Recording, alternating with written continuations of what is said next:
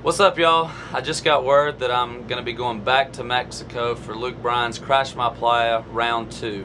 Um, this year it's going to be even better. We've got, um, it's going to be me, Sam Hunt, Dustin Lynch, Brett Eldredge, uh, Chris Stapleton, Dierks Bentley, uh, and Luke Bryan, who will be headlining two nights. So uh, that's going to be an unbelievable time, y'all. This time, uh, the Crash My Playa last year was one of my favorite memories. Uh, being down there and just seeing so many fans, getting to see them walking around, just uh, surprising them, popping up, playing some acoustic stuff, and uh, I got to join my buddy Dustin Lynch, who's going to be there this year down by, for a pool party that got so wild. So excited to get back down there. And uh, last year was just the first year, so I can't imagine how much uh, how much more fun this year is going to be. So go ahead, go over to crashmyplaya.com and uh, get you a package. Uh, bring some friends. It's going to be a blast. You don't want to miss out. Me, Sam Hunt, Dustin Lynch, Brett Eldredge, Chris Stapleton, Dierks.